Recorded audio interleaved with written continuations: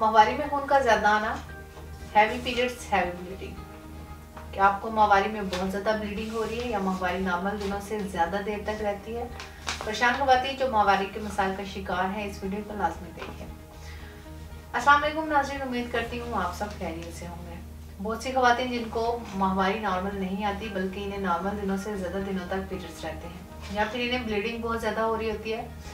Heavy periods का आना या हैवी ब्लीडिंग का होना, दोनों सूरतों में औरत को मुश्किल का सामना ही करना पड़ता है। और ऐसी खवतिन को शादी के बाद औलाद के हसूल में भी परेशानी का सामना करना पड़ता है। आज मैं बताऊँगी कि औरत को हैवी ब्लीडिंग आने की वजूहत क्या है और कैसे इस मर्ज से छुटकारा हासिल किया जा सकता है। खातन में नॉर्मल पीरियड्स तीन से सात दिन के होते हैं, जबकि हैवी पीरियड्स में औरतों को दस से पंद्रह दिन तक ये मुसलसल रहते हैं। और कुछ केसेस में औरत को पूरा पूरा महीना ब्लीडिंग रहती है। अब सवाल ये है कि हैवी ब्लीडिंग का कैसे पता चलेगा? तो मैं आपको बताती हूँ कि अगर एक औरत को 80 एम से ज़्यादा ब्लीडिंग हो रही है, यानी अगर औरत एक साथ दो पैड इस्तेमाल कर रही है या हर घंटे बाद इससे पैड चेंज करने की ज़रूरत पड़ रही है तो इसको हैवी पीरियड्स में ही कंसिडर किया जाएगा। अगर वजूहत की बात करें तो इसकी सबसे अहम वजह एस्ट्रोजन लेवल का बहुत ज़्यादा बढ़ जाना है। यानी हार्मोनल इम्बेलेंस है। इसके अलावा वो खवतिन जिनको पीसीओएस या पीसीओडी का प्रॉब्लम है, क्योंकि पीसीओएस औरतों को पीरियड्स इरेगुलर हो जाते हैं। कुछ खवतिन को लाइट पीरियड्स आते हैं और कुछ खातन को हैवी ब्लीडिंग होती है। इसकी एक और वजह एंडोमेट्रोसिस भी हो सकती है, क्योंकि इसमें एंडोमेट्रियम लाइन्स आने से बाहर आ जाती हैं, जिसके नतीजे में हैवी ब्लीडिंग होती है। इसके अलावा वो खातन जिनको पीआईडी का प्रॉब्लम हो, इन्हें भी हैवी ब्लीडिंग होती है। ये बेसिकली औरतों के निचले हिस्से का इन्फेक्शन है। इसके अलावा हैवी ब्लीडिंग मिसकैरेज की वजह से भी हो सकती है। क्योंकि कुछ खातन को पता ही नहीं चलता कि वो प्रेगनेंट हैं और इन्हें अगर मिसकैरेज हो जाए तो इस सूरत में भी ब्लीडिंग बहुत ज़्यादा होगी और हैवी ब्लीडिंग ही आएगी। या वो खातन जिनकी उम्र पेरीमेनोपॉज तक पहुँच चुकी हो और आखिरी दो या तीन सालों में ऐसी खातन को हैवी ब्लीडिंग होना शुरू हो जाती है। ये वो तमाम मसाइल हैं जिनकी वजह से औरत के, औरत में प्रेगनेंसी के चांसेस कम होते हैं। और साथ ही औरत अंदरूनी और बैरूनी तौर पर कमज़ोर होना शुरू हो जाती है। इसका इलाज करवाना बहुत ज़्यादा ज़रूरी है।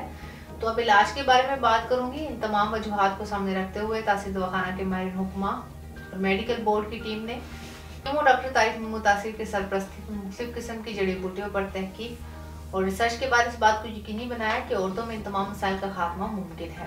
ताकि दवाखाना का ये इलाज खातन में हारमोन्स को मुतवाजा रखता है। इसके साथ साथ वो खातन जिनको बार बार मिसकैरेज हो रहा है, इस इलाज में शामिल कुदरती जड़ी बूटियाँ ना सिर्फ़ महामारी के मिसाल को ख़त्म करती है, बल्कि औरत को हमला करके माँ और बच्चे दोनों की सेहत बरकरार रखती है। इस इलाज से स्ट्रोजन की बड़ी मकदार नॉर्मल हो जाती है, जिससे औरत को पीरियड्स रेगुलर आते हैं और हैवी ब्लीडिंग नहीं होती। इसके अलावा यह हर्बल इलाज खून की कमी की वजह से औरत में होने वाली कमज़ोरी को दूर करके औरत को अंदरूनी और बैरूनी तौर पर सेहतमंद बनाता है।